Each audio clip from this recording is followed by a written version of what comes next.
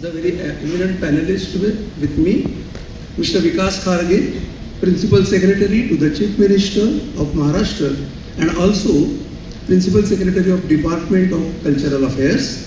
We have with us Mahesh Manjrekar, well-known director and actor, Mr. Ashok Rane, renowned film scholar and filmmaker, and Mr. Abhijeet Satam, actor, director, and very dynamic personality in contemporary Marathi industry.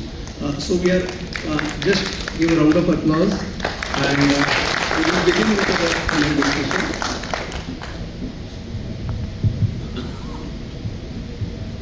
Hello. So uh, first of all, uh, I would like to begin with Mr. Vikas Kharge because our government of Maharashtra is always promoting good cinema and various measures are taken by government of uh, Maharashtra. So sir, I would like to ask you that what are the policies implemented by government of Maharashtra in this respect? Thank you so much, Santoshi. First of all, I would like to clarify whatever happening in Maharashtra in film sector, state government is just a facilitator. Film industry has come not because of government efforts alone, but because of people like Maheshji and Mr. Satamji and so many others. So it is a contribution by many eminents who are working in this field tirelessly, with devotion, with sincerity. That's why the film industry has, in Maharashtra has grown. up. Government role is just to support the activity. And yes, Maharashtra government understands the importance of this sector. It not only entertains the people, but it creates the employment also. As a state government, our role is to support such sectors which creates employment, which adds to the GDP of the people, and which ultimately gives and spread happiness among the people of Maharashtra. So, as you are asking, Maharashtra government is proactively working in this field to support this film industry. As we have seen in the film, we have a film city in Goregaon, Mumbai. In addition to that, we have another film city in Kolhapur. Basically, Marathi movies are shot there. In addition to these two studios, very good infrastructure. We have investment, lot of amount and money and efforts in that. We have a separate an IS officer who is the MD of this film city, Kolhapur, Mumbai, and also joint director level officer is also there at Kolhapur, Chitranagari. In addition to these infrastructural things, we have certain policies and support to the film industry. For Marathi regional movies, we are giving incentives to the Marathi films after their production and after their distribution. We are giving amount 40 lakhs rupees, 30 lakhs rupees as an incentive to the Marathi movies so that quality Marathi movies are created in Maharashtra. And this is a helping hand to the newcomers. Many, many newcomers, many, many new debut directors and producers are there. So this is how we are helping the Marathi movie to create quality movies. Another thing, those who are coming with the theme of creating good quality movie in Marathi based on the historical persons like Chhatrapati Shivaji Maharaj, Dr. Babasaheb Ambedkar, so many eminent personalities are there. On their lives, if somebody is coming to the government that here is the script we, have, we want to have a Marathi film, so we entirely sponsor that film. That is another scheme that we have. The third thing is that we are promoting the Marathi movie at the global level. At Cannes Festival in France and also here in the Goa Festival. Always we support three Marathi movies. Here also there are three Marathi movies that we have supported. They are here in the international uh, this Goa Festival and also at the Cannes. And another thing, in Maharashtra, many people, many organizations, they are also organizing international film festivals in Maharashtra. Pune International Film Festival is there, Asian Film Festival that is in Mumbai, Mami Film Festival is in Mumbai. Rane is here, he, he is coordinating for the Ajanta Film Festival in Aurangabad, Sambhajinagar. So, so many people and organizations, they are organizing Marathi, uh, the international film festivals including Marathi and many international movies and Hindi movies and regional languages movies. So for these film festivals also, Maharashtra government is helping. These are the major uh, initiatives that we have. Thank you, sir, for your very much insight. Now I will uh, uh, come to uh, Rane, sir, because he is taking various films in the very uh, film festival. Especially in Cannes, we have the uh, representation of Marathi cinema in Cannes uh, market. So, sir, what is the output? Last, I think, six years we are taking these films. So, what is the output of uh, all activities govern, um, it's implemented by government of Maharashtra? Namaskar. Uh, Santosh mentioned, uh, Government of Maharashtra uh, sends three Marathi films to Cannes film market. Uh, the idea behind that uh, Maharashtra government, as uh, Kharge explained just now, so they are always there to help Marathi cinema, various art form, but we since he is talking about cinema, so they are doing so much for cinema. They are doing uh, grant in ad and they have a beautiful film, film city there, many other things they are providing. And in the in that process, they decided one day that why should not the Marathi cinema are giving everything, so we should take Marathi cinema to world market. We should help them to go to world market and exploit whatever they can do there. And the idea came, and then uh, we decided to go to Cannes. So last eight years, we are taking three Marathi, Marathi films to Cannes, excepting those two years in between of COVID. So six times we have been to Cannes. We took 18 films. We took uh, 18 producers, 18 directors, and they were staying there and they were um, um, given all the opportunity to interact with the international sales agent and business people, marketers, distributors, all kinds of people, and then they were uh, given opportunity to sell their film there. So, and then we have a studio, uh, uh, booth there in Cannes, our own booth in Cannes, and then we uh, show, uh, make a screening of these three films, two screening per film, and we invite all the people and through this uh, uh, digital thing. So we approach, we, before we go to Cannes, we contact 12,000 uh, people from all over the country, all over the world. They are uh, sales agents and all kind of people, market people and all that. And we provide all kind of information about these three films. And then that interaction start before we go to Cannes. And then we go there and by the time all meetings are fixed and then meetings are taking place. And uh, last eight, as I, it's eight years, 18 films we took. And uh, most of these films, they, they, uh, they could do this kind of interactivity with people. And some of them succeeded in selling their film there in Cannes. And right up to that, I remember that film called Ringan, which was sold in um, uh, Australia. The Australian distributor come forward and he took the film and the film was uh, released in Australia also. So these kind of things are happening last eight years. Now we are, this is just the beginning and more in the government is doing so much for this. Only the filmmaker has to take more little initiative to take, only the filmmaker can do this, not government or person. I am taking care of all this delegation. I, to an extent, I help them, but then the filmmaker and they are doing a very great job. Now here also in Goa, last three years I am attending this market here, and the way our Marathi filmmakers they come and they interact with the uh, market people here, the uh, distributors and all that, really it is something amazing. So alongside that, what we are doing in Cannes, we are also approaching various film festival directors. And through that, we have been succeeded in taking those films to various film festivals world over. They have been selected there. And then uh, there is always a, there is a film school, then the, from archive, they also come forward and they, they try to have some uh, dealing with uh, filmmakers to have their films in the archive and their film school. And uh, I would like to uh, just mention here that Neon Film School, they are always there in Cannes with their 25 to 30 students every year. And every year, last eight years, they, they approach me and they select one film out of the three and they watch that movie and along with that filmmaker, they have a very good dialogue, about two hours dialogue with the students, students and Marathi filmmaker. So this is a good sign, something good happening. The more in more what government want, want there should be exposure. They should be connected with the world over. This is the main aim uh, behind this Cannes and this Goa thing and this is what happening all this thing. I'm really happy about that. As you rightly said, that government is taking their measures, but from the producers and uh, directors side also, there should be uh, some measures to be taken to make Marathi cinema more popular in the other regions and on international level. Mahesh sir, uh, what you would like to add on this point? Good evening.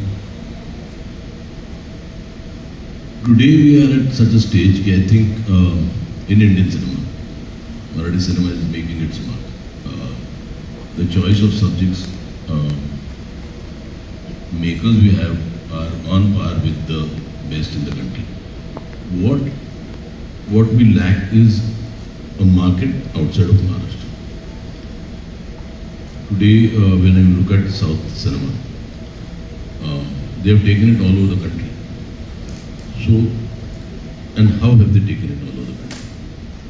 By just dubbing it into the Hindi language. What we need to do is we need a wider audience for Marathi cinema. Uh, there are people here who are non-Marathis who are seeing it in Marathi on OTT. And uh, there's so many people who call and say the Marathi cinema is fantastic. Are we going to wait for that audience? You know, who are going to see it on OTT? What we need to do is, see today the state is such that there was a time when cinema was star driven.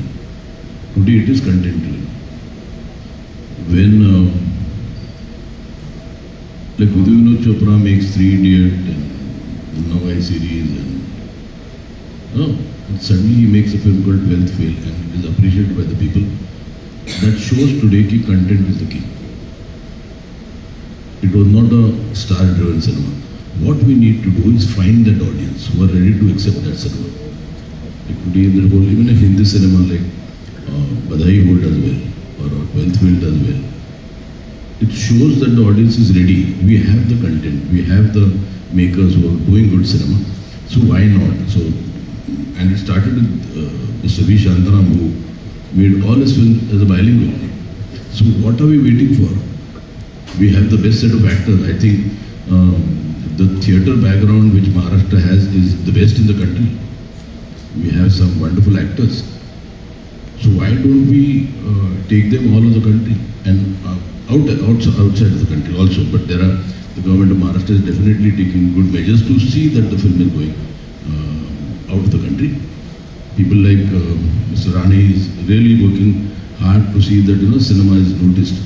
But we need to popularize Marathi cinema all over the country. And as an example, I can give you example of Kannada cinema, which was again, you know, suffering, and suddenly one KGF and KGF, RRR takes it all over the country. Today, Kannada film industry is thriving. Why should Marathi industry not thrive? Like they say, you know, even a, uh, film producer or a film distributor says if a film runs in Maharashtra, it is, if it doesn't do well anywhere, but only in Maharashtra, it is fine. So when we have such a uh, great platform, why don't we, we should look at dubbing our films in Hindi and releasing not, if not simultaneously, at least two weeks later, for the audience outside. And not Rome was not built in a day, so it won't start immediately. But we can make an effort, slowly, slowly. People will be aware that Marathi cinema has fantastic content. Yes, you, as you rightly said that I think the producers will take care of this, that we will not make only our means Marathi cinema confined to the Maharashtra. It will go beyond the boundaries. And Abhijeet uh, sir also mentioned about the OTT platform.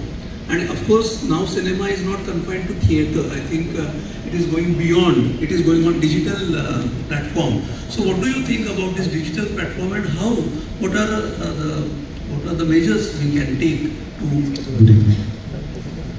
Uh, so we come from the land of the pioneer of Indian cinema, Dadasaheb Phalke. We have always been an industry which has been built by creators, and today we are in the era of the creators. We call it the creators economy. So if you look at even the everyday creators who are creating content on social media and they can engage an audience on average to four hours per day, every one of us unknowingly is watching social media content or content created by creators 4 hours per day. Now let's amplify this. If we amplify these kind of technologies to take our own films, Marathi films, to focus with, to a large audience through the newer technologies, platforms. It's not just a market which we should be focusing on, which is just Maharashtra. Because Marathi, or we are we are already in the hyper-connected world. We have to use this hyper-connectivity through our technologies and platforms to take our cinema to audiences not just outside Maharashtra but outside India because good stories are consumed, watched, loved, shared all across the globe. So I feel this is what uh, platforms like uh, OTTs or, or we have various models now which where cinema can be monetized. Uh, like OTTs, there is, we call it the SVOD subscription video on demand. Platforms like YouTube, which is advertising video on demand. And there is another way of how cinema can be monetized, which is called TVOD, which is transaction video on demand. Let's imagine a scenario that today, taking Marathi films, if we plan a Marathi theatrical release limited to Maharashtra, but then your film doesn't need to be just in theaters at the same time. You can simultaneously release with some maybe a gap of two, three days all across the globe until the hype of the film is there. So film, going to a film is always, you know, a kind of a impulsive decision. We have we have always seen cinema, look, looked at cinema. Like uh, whenever there is a hype around a film, whenever that film uh, needs to be enjoyed, it's it's like a social experience. What if the social experience of watching films is shared digitally all across the globe? I think monetizing uh, films through these technologies is the way forward.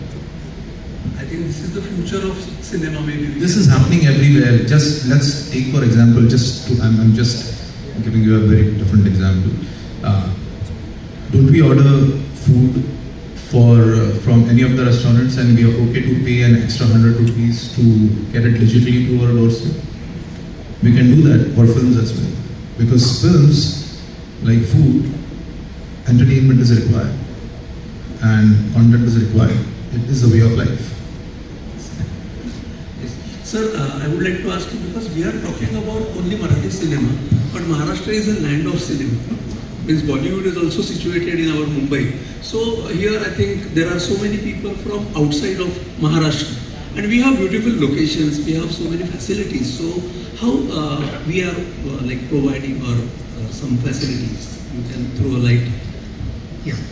See, Maharashtra is a place where uh, you can do everything about the cinema. End to end, you can have all the uh, says, all the all the things of cinema in Maharashtra. You can come here, you will have pre-production, production, post-production, distribution, everything is there in Mumbai and Maharashtra. Maharashtra is blessed with very beautiful scenic places which are very good for film shootings. We have beautiful beaches, we have uh, Chhatrapati Shivaji Maharaj, 350 forts are there. We have historical places, we have good forest, we have wildlife. You take a name, religious places are there. Out of 12 Jyotirlingas, we have 5, five Jyotirlingas in Maharashtra. So you name it of a category of a place, you find in Maharashtra. Another very important thing in Maharashtra is that excellent talent resources in in every sections of the filmmaking maybe actors technicians directors script writers you take a name Yeah. all the talent pool is available in maharashtra and i would like to mention here maharashtra especially the private sector there are many schools and colleges which are available in maharashtra in mumbai in pune and other places which are producing directors, actors, scriptwriters, cinematographers, dance classes are there. So private sector, government, government of course, government of India's FTI Film and Television Institute is there in Pune. But other than the government, central government schools, so many schools and colleges related to film industry are available in Maharashtra. Maharashtra government, especially as you mentioned for the other producers of other states and other countries, again we have a single window system. If you want to shoot in Maharashtra, just online you apply to the single window system which is managed by Film City Mumbai, and you will get a permission within few days. You need not run to pillar and post to get the permissions. So that system is in place in Maharashtra. Also, we are thinking to have a policy where currently you have to pay fees for shooting at government locations. If you want to shoot in a beach or in some government premises or in forest area, you have to pay fees. So we are coming, up, we are thinking to coming with the policy that there, there won't be any fees. Everything will be free. So in short time, we will come with that policy also. Then, see, lot of say thinking is going on in Maharashtra to have a new film policy also, as it was mentioned in the film also. So a lot of future say incentives and support system will be in place in Maharashtra. So I appeal to all the producers which are outside Maharashtra, come to Maharashtra, you will get everything, all supports. Further, we are very open for the discussion. If you have any new ideas about, say, having more facilitation for the film production in Maharashtra, we are ready for that also. Thank you. Very good. So I think uh, in the audience, uh, maybe they have that you would like to welcome the producers outside Maharashtra to come here. So my question is pertinent to post-production industry in Maharashtra. I mean, no doubt, it's tremendous here. So for foreign producers, you know, when we come here, um, because you know, post-production is obviously cost-effective for us, some of the challenges pertinent to cultural affairs, what we face is you have any financial or legal complications with somebody in Maharashtra, there is no support system. Let me agree there. But definitely we will think on that. We can have a separate cell. We will definitely work on that just to help legally and facilitate with the many other stakeholders with whom you want to fight or you want to have a compromise, etc. We will definitely think to have a forum within government in Film City to help and support and facilitate these things. We'll definitely think on that. Thank you. Uh, just uh, one line. Something like Better Business Bureau. For instance, in America, if uh, somebody does something wrong, one can file a complaint. Instead of going the whole long legal route, you can just file a complaint in Better Business Bureau, you know? So uh, I hope that there can be some kind of small compliance management Better Business Bureau uh, kind of setup. I'm not saying help us out in the whole legal system, just a compliance support that one can knock the door and help us in the initial phase of post-production guidance or uh, you know compliance support. I, I got it. Yeah. We have such a separate cell which is called as Maitri. Yeah? There's a friendship cell for industry department. For various industries, when they come and invest in Maharashtra, if they have some legal issues and that support system is there. But for the film industry, those who are coming in Maharashtra and having some problems after post-production, then currently, definitely we will work together with film, uh, with, with industry department and film city. We will definitely think to, think to have such forum for the support system. Meji, would you like to say something on this? Uh, No, I think um, it depends on the quality of work you want also. You can't have a fixed norm, you know, because uh, there are so many VFX studios which are working for the post-production. It depends on the quality also. So that I, I, I feel somewhere if you have done a contracting and then if you can go legally here, that should be the only answer. Here, I don't think the government of Maharashtra can take a stand. You know, you should take that much money for a post-production. Why are the people coming from US here? Because they feel it is cheaper here. So why should it be cheaper? You know, if they are giving quality. So that I don't think the government can take a stand on that. But if if you all are cheated, like if you make a contract and if you all are cheated, then the I think the government of Maharashtra will step in. Thank you. So what I, I think we, someone here also wants to answer ask a question. We have uh, ahead. time is a major factor here.